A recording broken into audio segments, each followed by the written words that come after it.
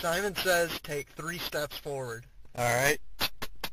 Simon says turn into a 3D rotating torus. How am I supposed Simon says make a 1300 hertz sine wave. How is he doing that? Piss I'm- yourself. Ah! Simon didn't say that. What? didn't What? No, You can't.